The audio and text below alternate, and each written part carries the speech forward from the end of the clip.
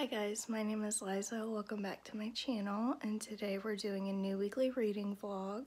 So it is currently Sunday, May the 15th right now and I wanted to give you all some updates. I've continued reading some more of Live by Night and it's okay. Like I don't hate it as much as I did in my previous vlogs but I'm still not like super big on it. I want to read some more of the Burnout Generation this week and then I would also like to finish reading Quarks and get a chunk of the way through Snowflower and the Secret Fan. I have a lot of plans this week because my friend who I'm reading Snowflower and the Secret Fan with is actually coming in to visit me. So I'm super excited about that. But I actually have to run off to work and today I'm working from 12.30 to 9.30 and so I'll try and get some reading done on my lunch break and I'll update you guys when I get back. Hey guys, so it is currently Tuesday right now and I wanted to hop on here and give you guys some updates. So I've had a pretty productive day. I've done a little bit of editing and I also ended up finishing a comic. I ended up finishing reading Quarks and I absolutely loved it. I gave it a solid three stars, but I'm thinking that I might bump it up to four. I had a lot of fun reading it, and they even had a lot of interviews in the back with the artists and the illustrators and the authors, and it was just like, it was such a cute read. I got out of breath there for a minute, sorry. So the comic series is a collection of strip comics that was actually created as like a weekly web comic, I believe and they ended up publishing it into a book form. And it basically revolves around different people's habits as they read and different like mannerisms that people have when they read. So it was really cute. A lot of it was really comical and funny and it was very lighthearted. I know that the illustrator and I believe the author have also done a few other books that I might check out but I really enjoyed it and it's definitely worth the time to invest in reading it. Alright, so the other really exciting update that I have for y'all is I have my friend that's coming over this week and she's coming from California. She's the one that I've been reading Snowflower and the Secret Fan with and I'm super excited to see her. And I had requested off about three days to go and hang out with her. And I looked at my schedule today and I realized that they gave me all the time off that she's gonna be here with me. So we're trying to figure out what we're gonna do with the extra days because her plan was to fly in and then go to a concert. And so now we're trying to figure out if there's a way that I can go to the music festival slash concert with her. We're really excited to see each other. We haven't seen each other since I think last summer and we ended up going canoeing on that trip and that was a lot of fun but I haven't seen her in a while and she's been studying in vet school so she hasn't really had a lot of time. She and I try really hard to get into contact with each other at least once a week and talk on the phone, but it's really hard to do with all the studying that she has and all the schoolwork and extracurriculars. So I'm just really excited to be able to see her face to face. Today I actually have to close for work and I'm going to be in the seafood department and then I should be home at around 9.30 or 10 give or take depending on how busy it is and I'll be able to give you guys some updates then but I think I'm going to go and try and do some more reading and I'll talk to you guys in a hot minute. Hey guys, so it is currently Wednesday right now and I wanted to give you guys an update. As far as reading goes, I finished reading a comic series called I Left the House Today. I've seen this artist comics on the internet for a really long time and I didn't realize that she had released a book and I actually found it on Scribd and I went through and I read it within like a matter of two days so I really ended up enjoying it. It was really funny, it was really heartfelt. A lot of the comics had to do with her and her boyfriend and her life in college. And so I thought that it was really cute and overall I really enjoyed it and gave it a solid four out of five stars. As far as other books that I'm reading right now, I'm also continuing through Waves and I got a chunk of that done today.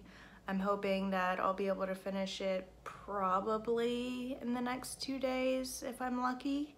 But I do have a lot of plans going on right now, so we'll just have to see. I am about to go to work, but there's so many things happening today that it's just making my head spin. The first thing that's happening today is I'm upgrading my phone and we got me a new phone. I haven't had a phone in about six years, so it's a pretty big upgrade for me. I'm going from the iPhone 8 Plus to the 13 Pro Max and it's gonna be super different. I'm really excited and it's supposed to get here today and I can't wait to transfer all my stuff over. So that's the first thing. The second thing that's happening is my friend Fee is flying in from California tonight and she's the one that I've been reading Snowflower and the Secret fan with. I haven't seen her in about a year. The last time we saw each other, we actually went out kayaking together. And so I'm super excited to see her and I'm excited to be able to talk to her and just meet up with her face to face. And so she's coming in tonight at about 12 o'clock midnight, give or take. And so I'm really excited about that. But we're trying to get the house ready right now, trying to do a little bit of cleaning and prepare for that. And then the third thing that's happening is we're gonna try and go and see a band tomorrow together. Now, this is kind of a last minute thing where technically I'm supposed to be on shift tomorrow, but I asked my boss if it would be okay if he could find some coverage for me and I could just switch shifts with somebody else. The reason that we want to do it this way is because somebody that she knows is actually part of one of the bands that's playing and we're really excited and we really want to see her play specifically and the only time that she can actually play is during one of the days that I'm on shift. So I talked to my boss yesterday and I've tried to explain the situation to him. I've been working at the same place for about four years, so I do have a little bit of seniority, and so I think that he's going to try and see if he can cover that shift for me with somebody else. But I'm not technically gonna know until I go into my shift today. But I'm really wanting to go to this concert super bad because the last time that Fee and I went to a concert together was like when we were 14 and we went to Toby Keith and this one is more like heavy metal, like headbanger music, and I've never been to a concert like that before. So I'm really excited. I really, really, really want to go, but if they're not able to find coverage, then I'm just gonna have to go into my shift and miss it. But Braden is gonna be going, and her and I are gonna be going, and we're gonna meet up uh, with the band there and hopefully be able to go and see them and talk to them and everything. So I'm really excited about it. I'm trying not to get my hopes up too much for it, but it's kind of hard not to. So it's just one of those things where we're just gonna have to see. But anyway, I'm gonna go and read some more of Waves and I'm gonna charge my phone up a little bit and I'll update you guys when I get back from work. Every few days I feel like I have to go out here and check the plants because we're in the middle of a big drought and normally they're supposed to be watered about like once a week or so but it's been so dry out and it hasn't rained really and so we've been having to water them every day. I think my favorite plant right now is this guy right here with this purple flower. So we are going off to see a band today. Rest of this weekend, but fuck that shit. We're only with each other for a short amount of time, and I plan for us to make the most of it, so listen up. As long as Tetrarch's up on this stage, we're gonna give you everything we've got, and I expect you to do the same for us. So Rockville, when we bring this one in, you better pick up the pace, motherfuckers. I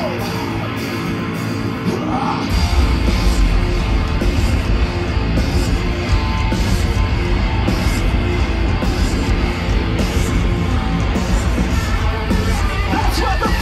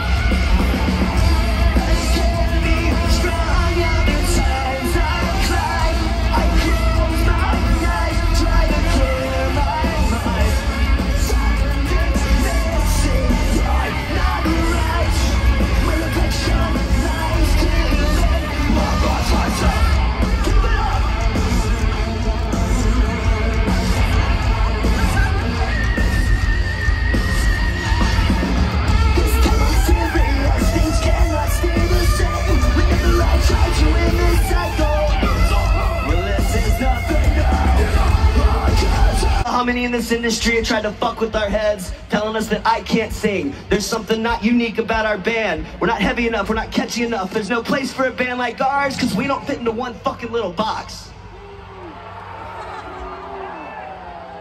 We've never let any of this keep us down. We've always stayed motivated and true to ourselves, and we're so much stronger for having gone through that shit. This girl over here, Diamond's now become the first ever African American female metal lead guitarist ever featured in major magazines around the world and on covers and that shit. I'd say that's pretty fucking unique. Thanks to the support from people like you who help keep heavy metal alive and the support of Sirius XM and radio stations across the world, we've now had multiple songs break the top 30 on the mainstream rock charts as a fucking metal band. We're proud of that shit. And I don't want y'all to worry, that dirty old van's a thing of the past, because now I'm on one of those big ass tour buses you see parked back here, motherfuckers.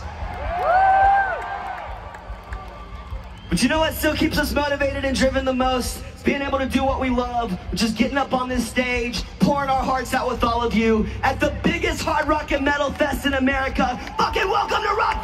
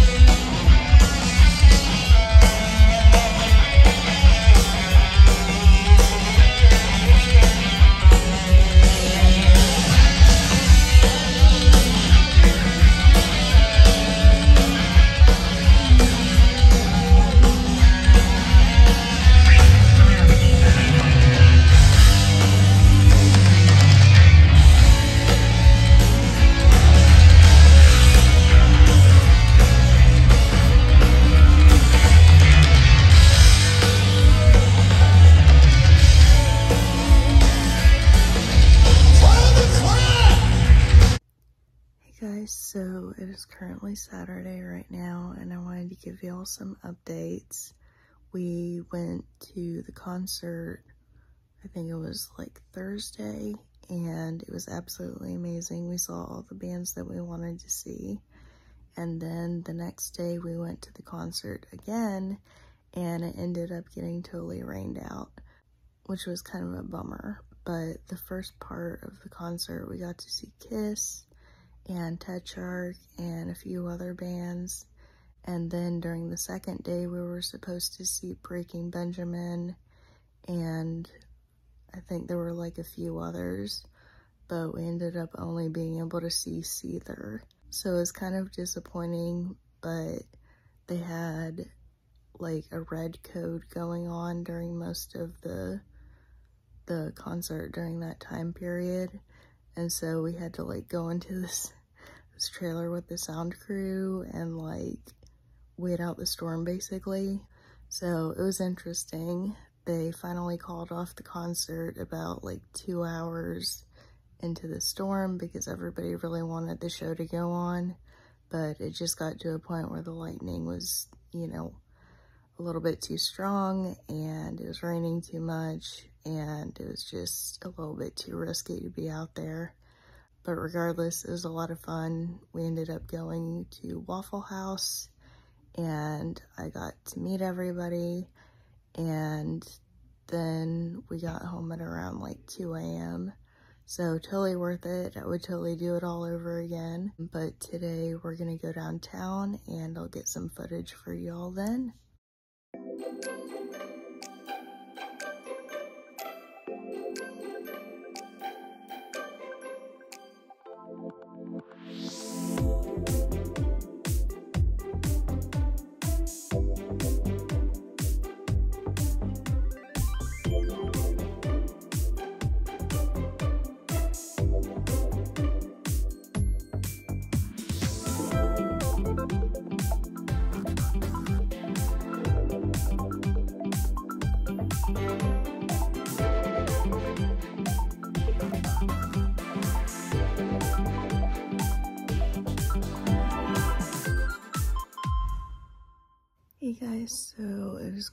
Sunday right now, and I wanted to give you guys some updates. I started reading a book called It's Okay to Feel Things, and it's been pretty good so far. It's about 60 pages, and it's basically just like a tiny little book of daily affirmations for people with anxiety. So I started that last night, and I've been really enjoying it our game plan for today is we're going to go to Cape Canaveral National Seashore.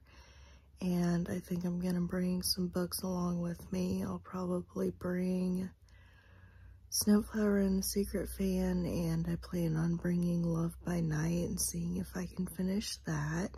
Yesterday was a lot of fun. We ended up going to a bookstore and we went to the Japanese store and I got some really cool emoji and they had like these sakura cherry blossom emojis that were really cute that I got and they actually had some pineapple ones Fielding got boba tea and so that was really cool. She'd never been or no she had been there before but uh she really likes that place and she likes the tea there so we got her some tea and then we hit a few bars and where else did we go?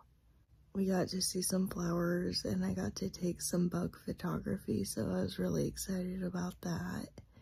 We went to a bookstore and we got some books and Braden got two books and I got Call Me By Your Name. So now I have the hard copy of that and I'm excited to start that. We went to a soap store too and that was a lot of fun. Uh, so overall it was a really good day. We had a lot of good times. We left like right as a thunderstorm started. So I know that the third day of the festival actually probably got canceled. But overall, I'm glad that we went out on the town. And I'm glad that we're going to go out to the beach today. And like always, I'll show you guys some footage of it.